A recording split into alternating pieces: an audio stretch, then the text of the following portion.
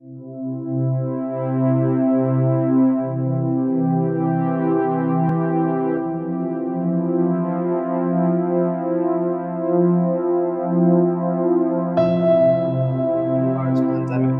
swept across our world and changed it in a way that most of us have never seen before. Those of us who were born after the end of the Second World War will have not seen such a drastic change to our landscape before. And although it started in China back at the end of November, early December last year, it's only been in the last month that we have felt it on our shores here in the UK. Life has changed drastically we find ourselves in lockdown, social distancing, social isolation, all of these terms that didn't mean anything to us before. And so we find ourselves as Christians in this place thinking, how do we respond? What does this look like in this unprecedented time, as so many people keep talking about it? What is it that we are called? Who are we called to be as followers of Jesus. And we know that we put our hope in a very certain God when our situation and our circumstances are far from certain. We talk about this. We've just experienced Easter, the life, the death, the resurrection, the passion of Jesus as he came and conquered death once and for all. But what does it look like on the day today? Can we hold our emotions of frustration and anger and anxiety in front of God? Or should we merely be suppressing them? Should we have that British stiff upper lip? Should we be stoic about it? Should we be calm and carry on? I want to suggest that actually a wonderful place for us to start is through lament. And lament is a word that's taken from the Latin, which means to wail to moan or to weep. That actually is totally okay, more than okay, actually. God wants us to be open and honest with Him about how we're feeling about our situation. And the two prominent places that we find lament through the Bible are in the book of Lamentations and these would have been five poems written um, referencing the destruction of Jerusalem back in 586 BC or thereabouts. And then in the lament psalms, the psalms of anguish, the psalms of despair and um, terror that the psalm writers find themselves in. And it's these lament psalms which we're going to focus on through these next four sessions. And there are various interpretations about the Lament Psalms and their original setting in life, where the they would have occurred. And some seem, some people suggest that they were a product entirely of the temple, that they were a part of gathered worship in response to specific certain events which were taking part. Other people believe them to be a product of something more akin to what we might see as like a home group or a life group today. A small, intimate group of people who would help to rehabilitate the afflicted person after they'd gone through a really bad situation, to kind of love them back into wholeness, loving them back to life, and ultimately to relationship with God. But whatever their original setting in life, these lament psalms, I think, are crucial um, for us to engage with, to study, um, to get a grip of as we tackle what it means to be Christians in this coronavirus world.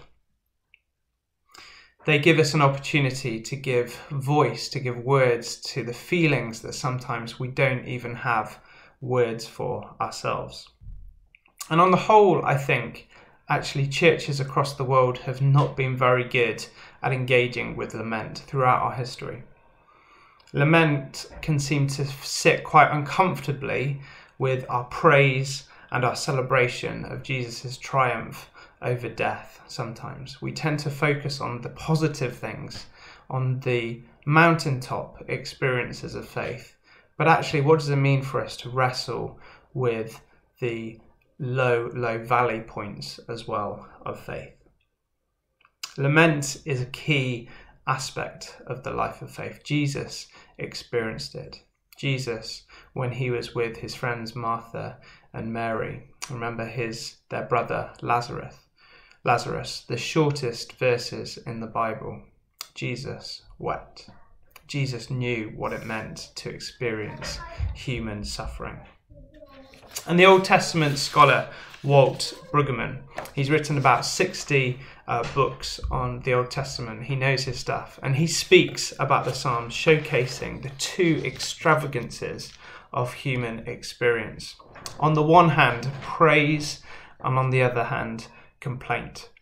The two extremes of emotion which every single person feels, whether they're a person of faith or not. On the one hand, celebration and great joy, and on the other, loss, despair, and grief.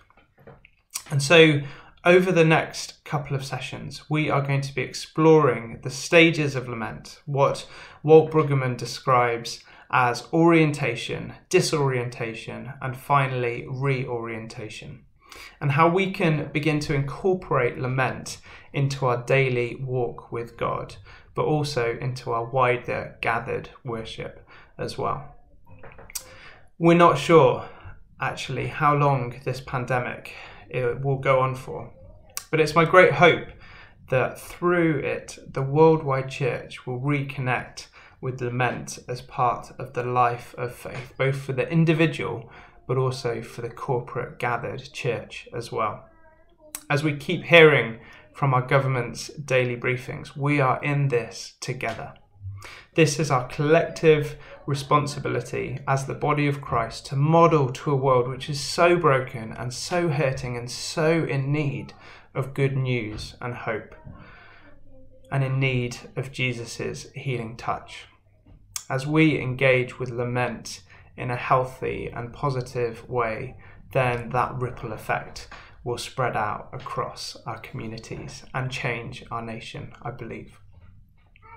So we, as we end this first session, I'm going to read the words of one of the most famous lament psalms, Psalm Psalm 13. How long, Lord, will you forget me forever? How long will you hide your face from me? How long must I wrestle with my thoughts and day after day have sorrow in my heart?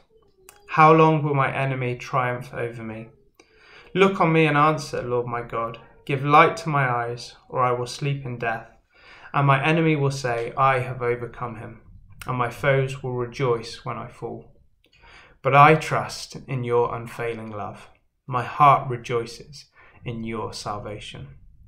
I will sing the Lord's praise, for he has been good to me. Let's pray. Father, you are the one who allows us to show the full experience of human suffering. You allow us to come before you. You don't expect us to have it all together, but you say, Come, come and share your burdens, come and lay them down at the foot of the cross. Any emotion, any feeling is acceptable in my presence. And I pray as we look at this theme of lament over these sessions, that you would help us to see more of your heart, both for us as individuals, but also for your heart to restore our world back to relationship with you.